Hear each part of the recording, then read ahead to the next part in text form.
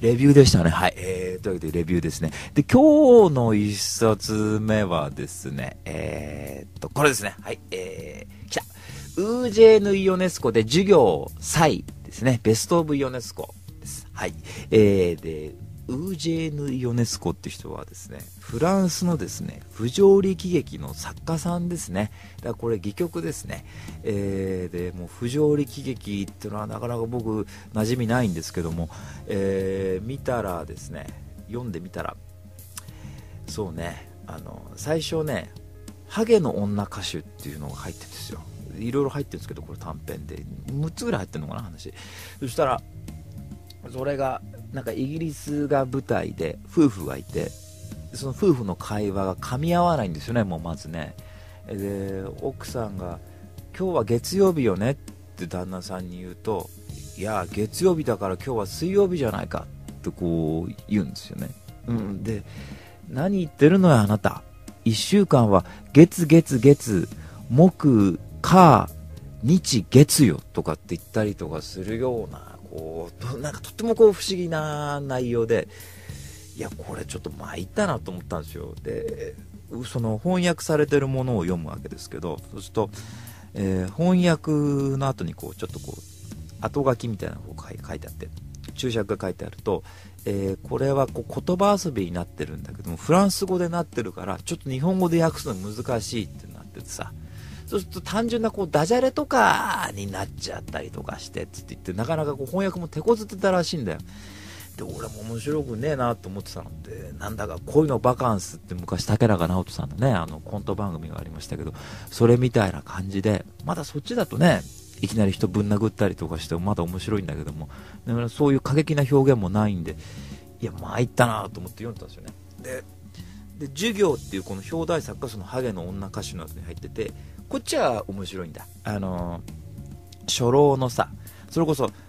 あのあれ前に紹介ずいぶん前に紹介した中村信夫さんのさ信夫さんのあの俺のことならほっといてくれってありましたよね。でその中村信夫さんがずっとその授業っていうこのイオネスコの芝居を20年ぐらいずっとそのやってたんだね個人的に芝居を毎週金曜日に。だからなんか馴染みあっておっと思って読んでて。でこれはさ初老のこう言語学者がさその家庭教師なんだよね。こう個人的な教師やって。そこに女の子が来るんだけどこの女の子がさ足し算とかそういうなんつうのこうかけるとか例えば1万8945かける、えー、8万9858はとかってすぐ答え出したりできるんだけど引き算ができないんですよこの女の子がでその初老の男が「なんで引き算ができないんだ君は!」って言ってこうだんだんこう頭おかしくなってってその女の子を殺しちゃうんだよ。で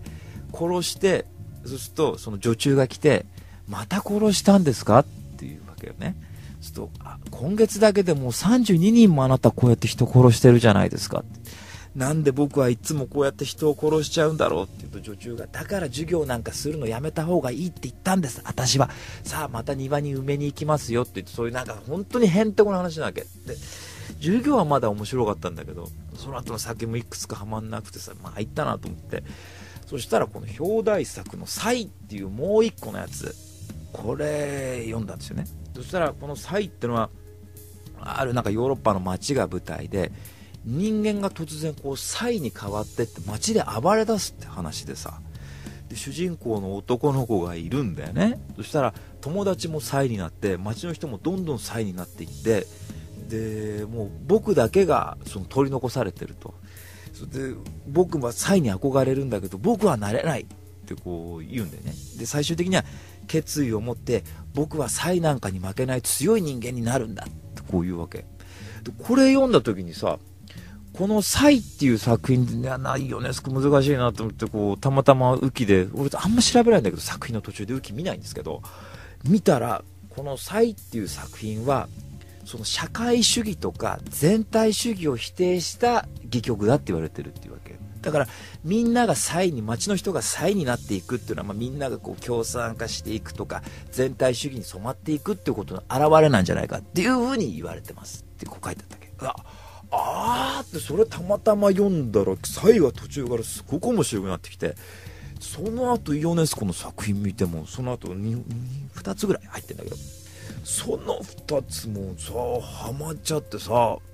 だからもしこのウキペディア見なかったら僕もその全体主義ってこと気づけなくて気づけないというかまあその見方がさ自分の中で発見できなかったから発見できなかったとしたらもしかしたらイオネスコもう嫌って言ってそのままポンとしちゃったかもしれないけど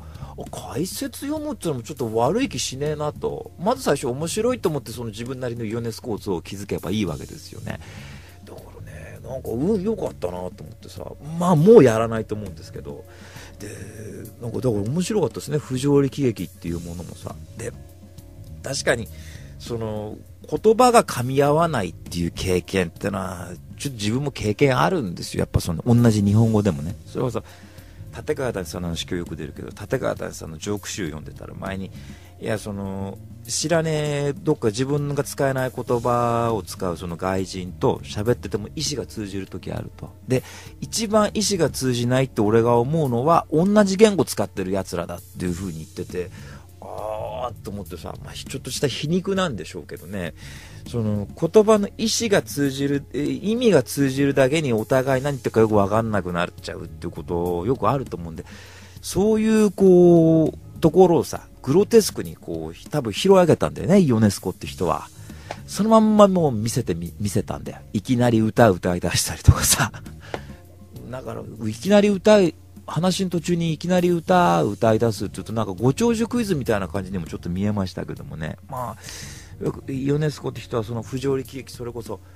ベケットだとかもう一人なんかいたんだよな。間吉野ちゃんと喋ったらなんか名前でで出してくれたけどもなんかいるらしいんでいろいろね。一時期フランスのその割と演劇界で流行った、えー、スタイルみたいなんでまあ、一世風靡した時期もあったんでしょうね、きっとね。うん、で、まあ、なかなかちょっと読む機会ないと思いますし、あの、岩波文庫とかでイオネスコって確か出てなかったと思うんで、新潮文庫から確か出てなかったはずなんで、ちょっと手に取りづらいかもしれませんがね。まあ、よく言うやつで、まあ、図書館とか行けば、きっとイオネスコの戯曲、結構有名な人らしいんで、あるみたいなんで、ちょっと気になった方ですね、ちょっとその不条理劇ってちょっとなかなか馴染みないものに触れてみるっていうのもいいんじゃないかなっていうふうに思いますね。はい。えー、というわけで今日の一冊目はですね、ウージェーヌ・イオネスコで授業再、えー、ベストオブイオネスコでした。